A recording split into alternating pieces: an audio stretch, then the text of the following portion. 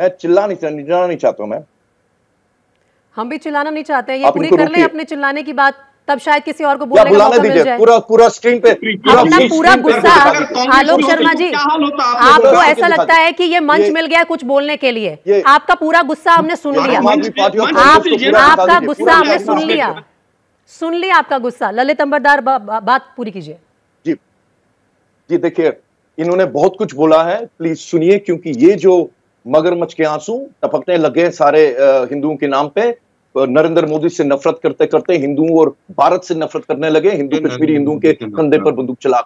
मैं नरेंद्र मोदी का सबसे बड़ा फ़ैन हूँ। मुझे कोई शक नहीं है कोई हिजक नहीं बोलने के लिए। और नरेंद्र मोदी का सबसे बड़ा आलोचक सबसे बड़ा आलोचक हूँ।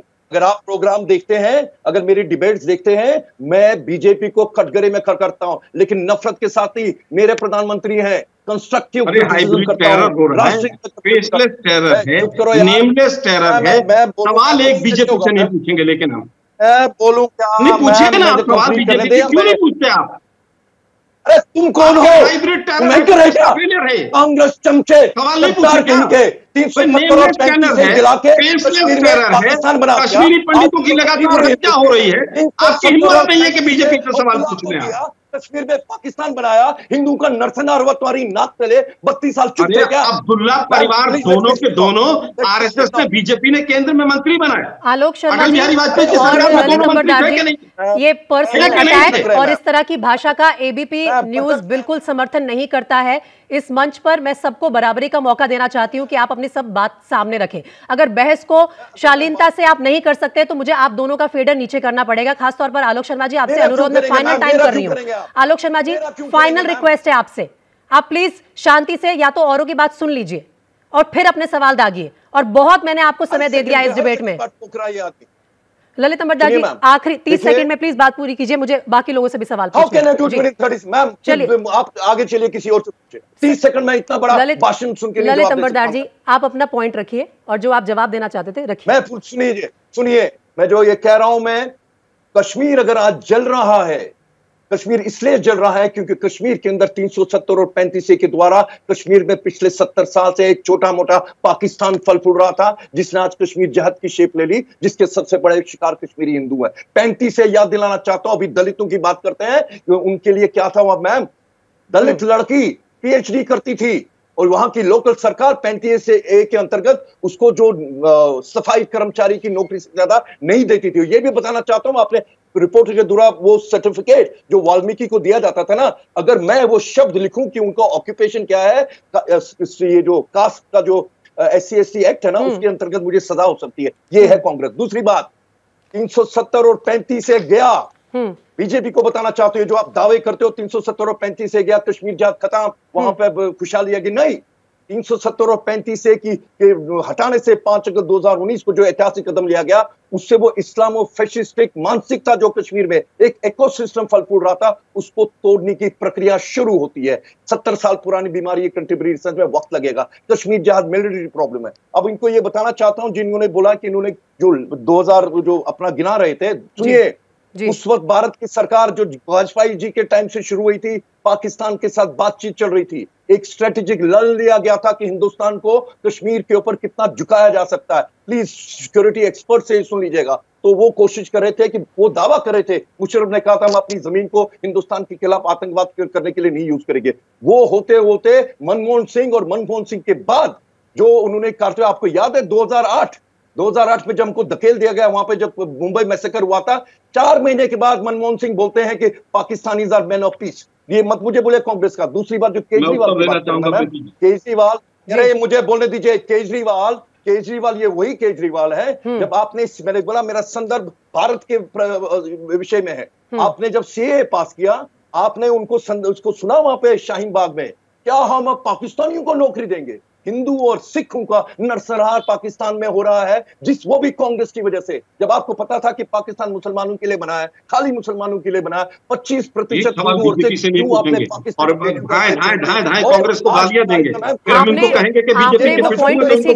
आलोक शर्मा जी आपने जब इन्होंने बीजेपी से सवाल पूछे तो आपने अपने कान बंद कर लिए थे लेकिन मैंने नहीं बंद किए थे। इन्होंने बीजेपी से भी सवाल पूछे बीजेपी से हैं बीजेपी से भी पूछे हैं आम आदमी पार्टी से भी पूछे हैं और हर कश्मीरी आज पूछ रहा है कि तुम्हें अब हमारी याद आ आ रही है। जब हमारे लोग एक बार फिर से मरना शुरू हो रहे हैं तब जाके तुम जंतर मंतर पे भाषण दे रहे हो।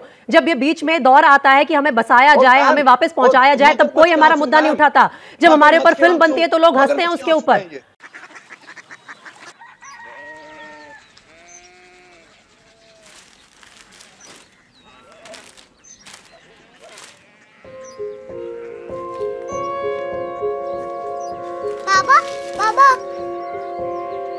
सी सिटी जानी ना।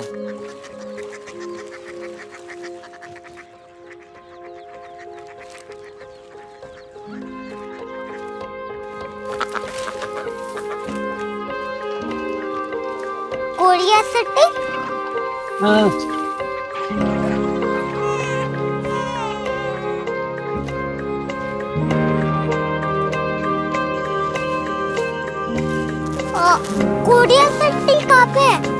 शहर अंग्रेज़ी लगे हैं।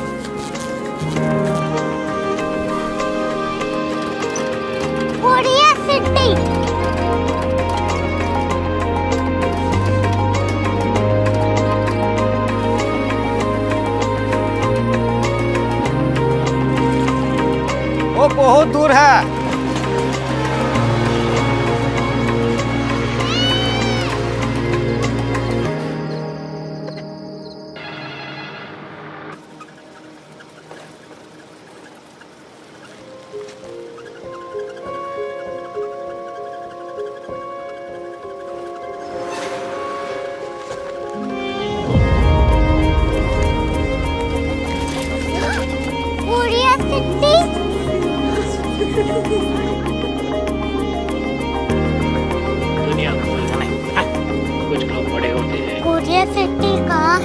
प्रोफेसर साहब को पता होगा।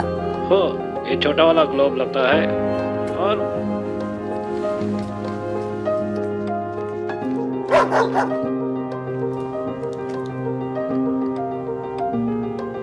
पता नहीं मेरी बेटी से जाके मिल लो शायद उसे मालूम हो।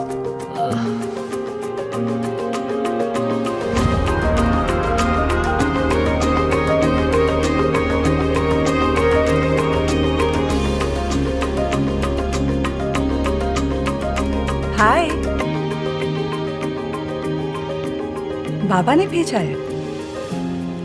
Come here Korea city Korea city नहीं क्यूरियोसिटी वो क्या? That's what brought you here जो तुम्हें यहाँ तक ले आया। क्यूरियोसिटी